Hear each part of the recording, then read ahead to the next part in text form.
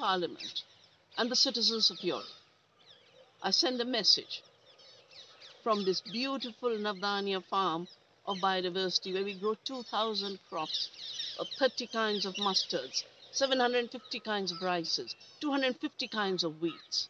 And we've done this because the corporations only create monocultures and they introduce GMOs in order to take patents. The GMOs are failing everywhere. So now they bring the new GMOs which are not so new. They're not new because they use the old techniques of vector. They use the same toxic genes and they are not precise. They're trying to deregulate the amazing biosafety laws we framed in the United Nations, in India, in Europe. Those biosafety laws have protected the biodiversity, protected our health, protected the farmers.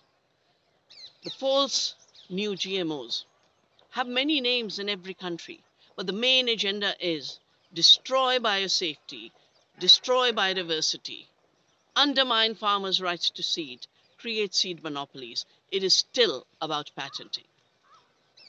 100 patents already taken by the same poison cartel that is controlling our seed and pushing poisons.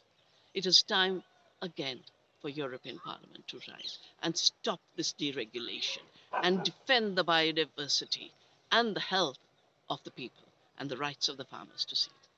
Thank you.